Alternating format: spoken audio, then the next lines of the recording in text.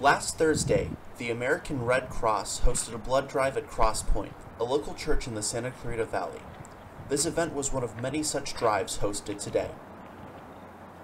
In this Los Angeles area region, we have the need of about 600 units a day. That takes up to 1,500 donors to actually make that happen for this area.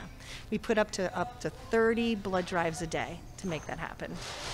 This is a lot of blood, and it takes a lot of donors to reach this. Many of the Good Samaritans I spoke to had a similar path that led them to becoming lifelong donors.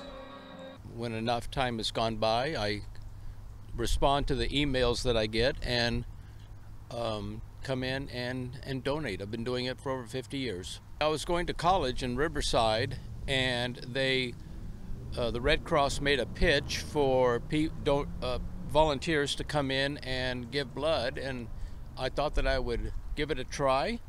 Say it had to do with there was a blood drive in college and they were like asking students to and I started there. A challenge the Red Cross is consistently facing is the search for new donors. If you are considering giving a donation, here are a few things you should think about. A lot of people don't realize that this one pint that they can donate can impact up to three people. It's the blood on the shelf that saves lives.